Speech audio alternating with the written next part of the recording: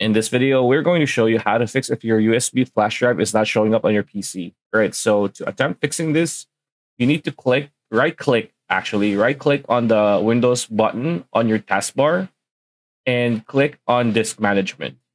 In the disk management panel, all the drives and partitions on the system will be listed. This includes both internal and external drives. If you're unable to find the drive listed here, uh, then you need to go to the device manager. Launch a device manager, search for it in the start menu, and click on the relevant search results to launch the app. Device manager, double click on the disk drives option to expand and view the devices under it. If you find the USB drive listed here, it's probably an issue with the driver, then that can be easily fixed. So yeah. All right. So to re- re-enable the USB uh, flash drive, right click on the USB drive listed under disk drives and select disable device from the context menu. Then click on yes in the confirmation box that appears. Now wait for a few minutes and then again right click on the USB drive and select enable device for, uh, from the context menu.